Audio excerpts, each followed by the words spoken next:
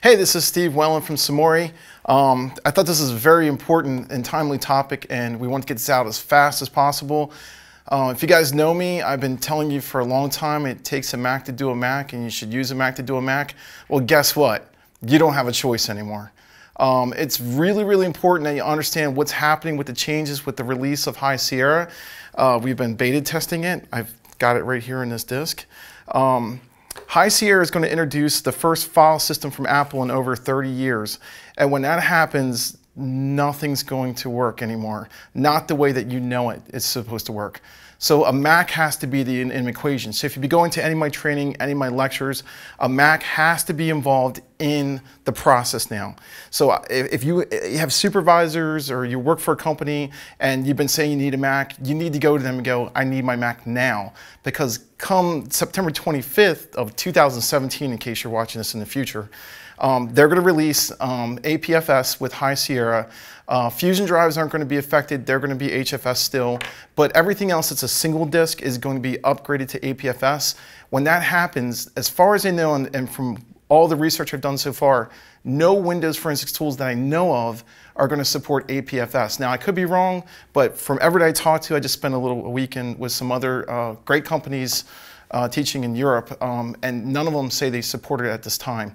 So that means none of your Windows forensics tools are going to be able to load a forensic image of a Mac unless, and I hate to say this to you because you know I like to give away things away for free with Paladin and such, unless you use a Mac-based imager.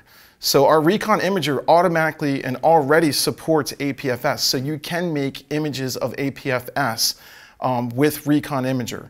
Um, that image, if you bring it into a Mac, is going to be fine. So bringing a physical image of APFS to a Mac will be fine. The problem is if you try to bring a physical image of APFS into a Windows machine, it's no-go. It's not going to happen. And Mac has to be involved.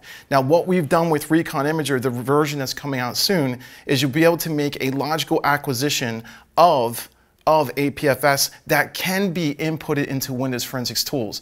This is the only way, this is the only way that I know of right now that you're gonna be able to do and continue to do Mac forensics with Windows-based tools.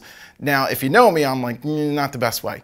Um, obviously, but we know most of the world is still using Windows forensics tools, so I, I don't wanna exclude you guys. And we're all about us making sure that you can do the job. You know, I'm law enforcement, I was law enforcement, retired. Everybody here is, a lot of, most people here retired law enforcement. We want to continue supporting law enforcement.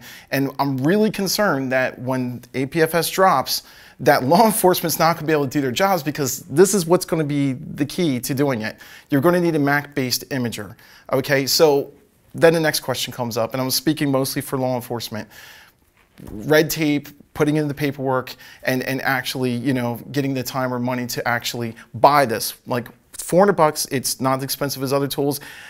Let me just say this, I want to make this very clear and I'll do the best that I can. All right. I don't want money to stand in the way of you doing your job. I, I mean, you're out to protect us and that's the most important thing. I've done it, we've done it.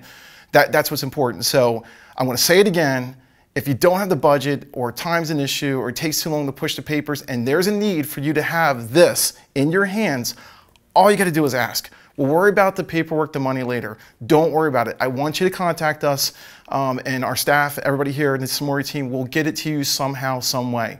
So um, even if I have to just make it up and buy drives at any local store, but we will get it out to you in some way or some form. But please don't let this be an issue and please keep an eye on what's going to happen.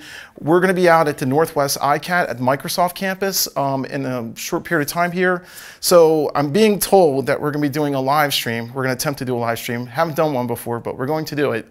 Um, on YouTube, on our SUMURI YouTube channel. It's going to be Wednesday, September 27th, 10.30 Pacific time okay, and 1.30 Eastern time. So make sure that you pay attention to our emails that are going to come. If you're on our, on our list and stuff, we'll send an email with the link um, so that you can actually see it. I'm going to be talking about Mac imaging there, demonstrating it, and core storage and fusion. That's old news.